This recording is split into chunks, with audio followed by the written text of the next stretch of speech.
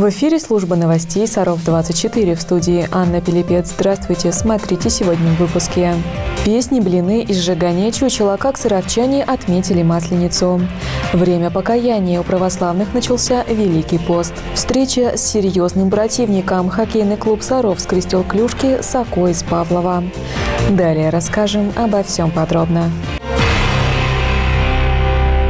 Вкусные угощения, аллея забав, сувениры и аттракционы. В минувшее воскресенье в парке имени Зернова отметили последний день масленичной недели. На традиционных народных гуляниях побывала и наша съемочная группа. Самые сильные побеждали в традиционной русской игре в перетягивание каната. Ловкие и быстрые проверяли себя, прыгая в мешках на скорость. Не обошлось и без прыжков через импровизированный костер из березовых брусков. Весну в Сарове встречали звонко и весело. На аллее масленичных забав в парке Зернова для жителей города подготовили добрые русские игры. Активно принимали в них участие не только дети, но и взрослые. Очень круто, мне понравилось. Вот халявный чупсик подарили. Мы попрыгали в мешке, э, э, где канат еще подтягивали. Все нравится, весело и интересно. Там и где и шашлыки жарят, и игрушки продают, и шары продают. Вот внучку потерял еще, внучку.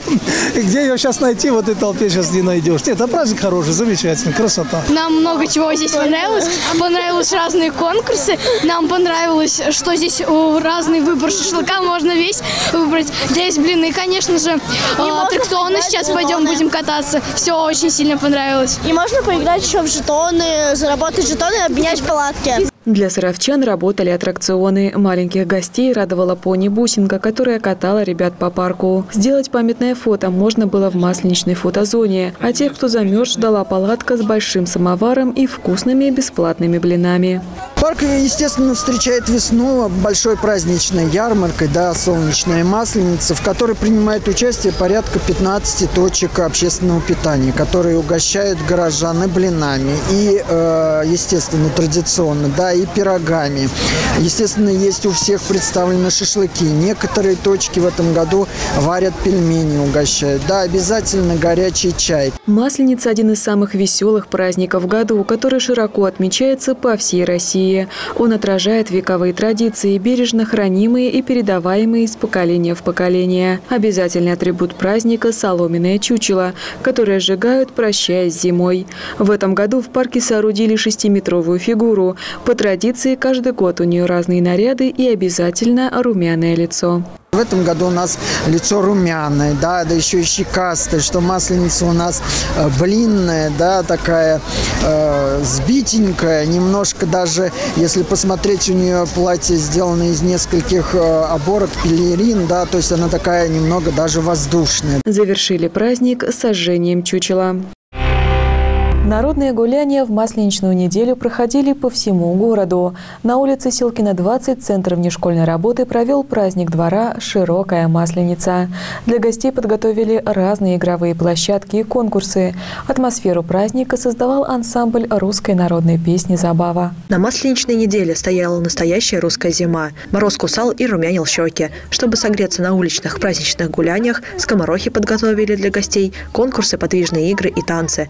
А чтобы дети и взрослые узнали о Масленице побольше, скоморохи рассказали о празднике и предлагали загадки. Самые активные участники получали жетоны, которые потом можно было обменять на подарки. Скоморох, что сегодня за праздник у вас веселый? Сегодня у нас проходит веселый праздник Масленицы. Сегодня здесь, на нашей игровой площадке, мы проводим праздник для местных жителей.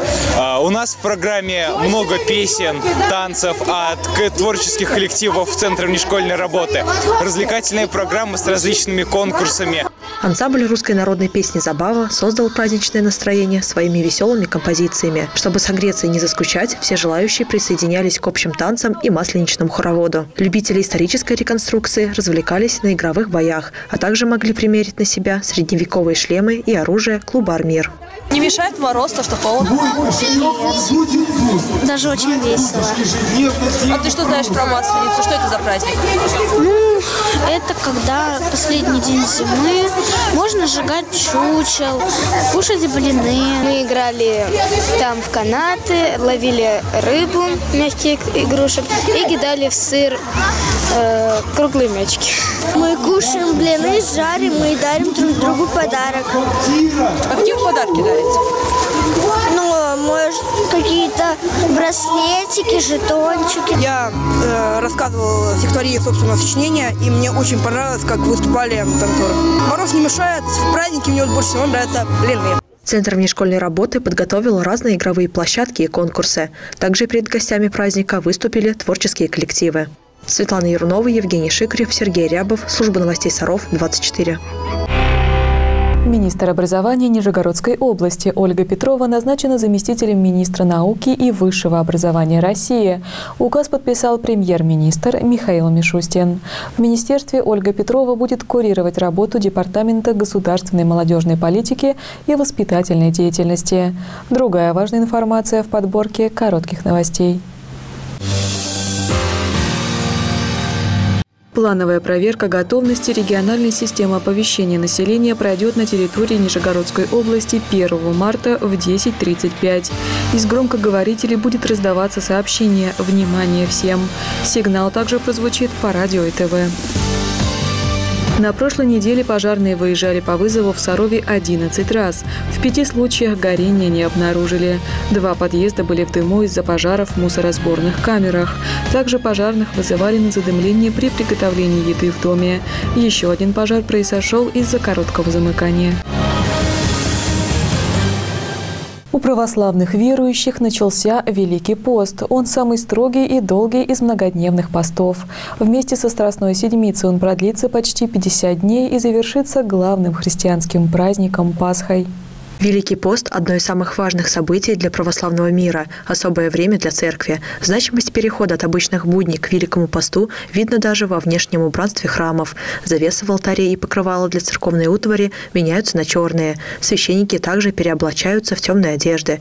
Даже прихожане одеваются немножко по-другому, по-постовому. Великий пост само богослужение становится особым. Это просто, так сказать, ну, напоминание, что ли, о том, что мы должны быть обращены в это время в большей степени к себе, э, внутрь себя, внутрь своего сердца. Вот и все.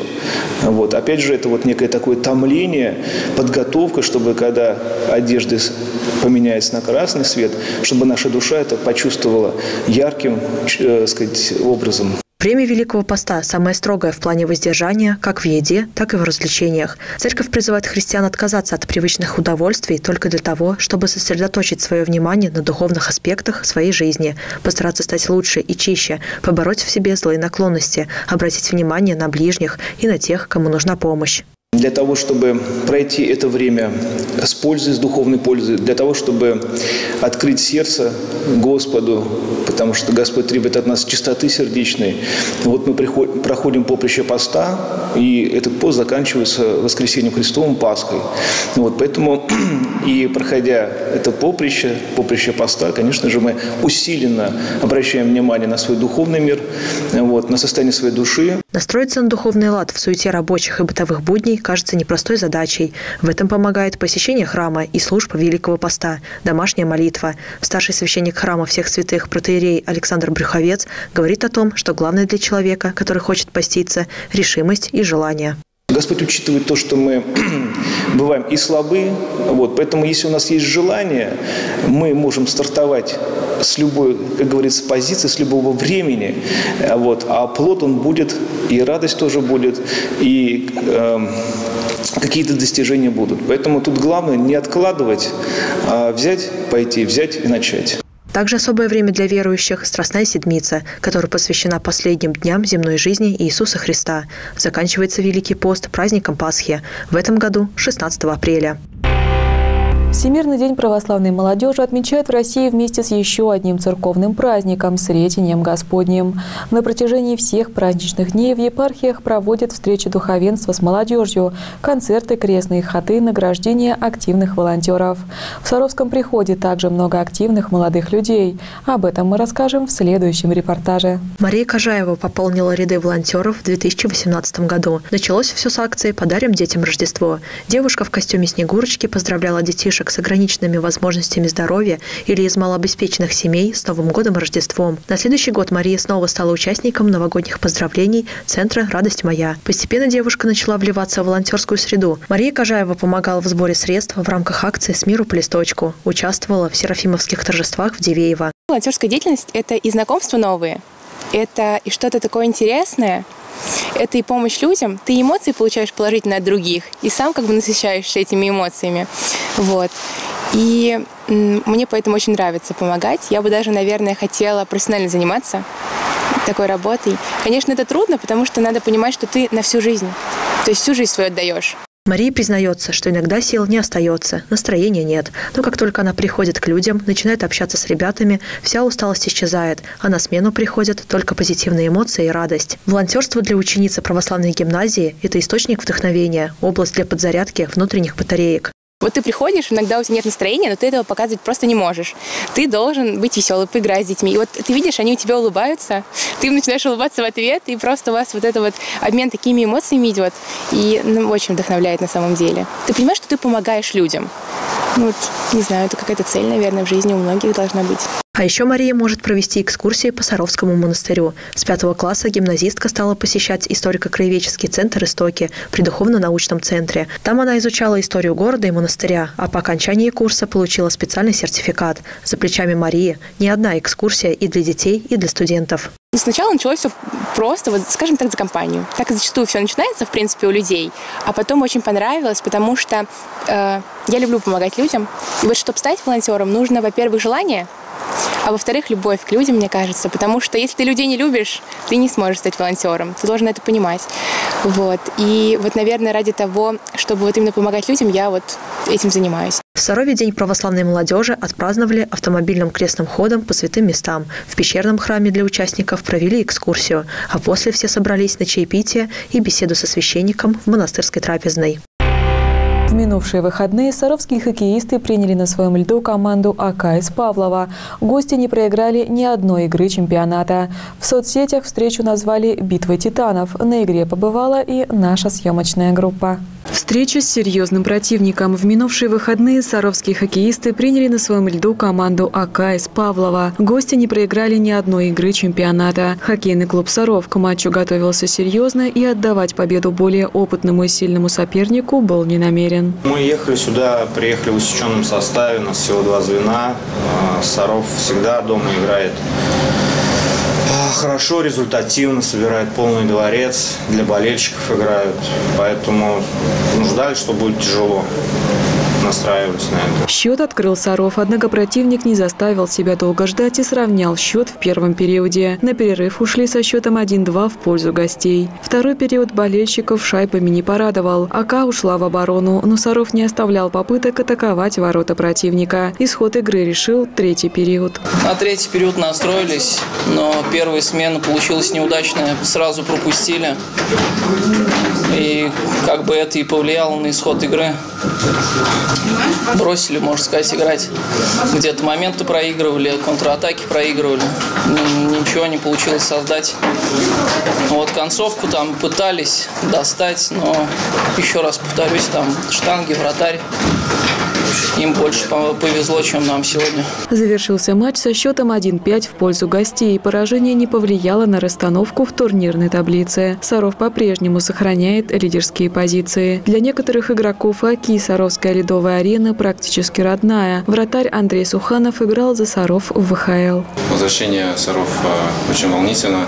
Вот, э, долгое время здесь не был. Вот, э, уже на подъезде КП родные стены здесь раскальзывали.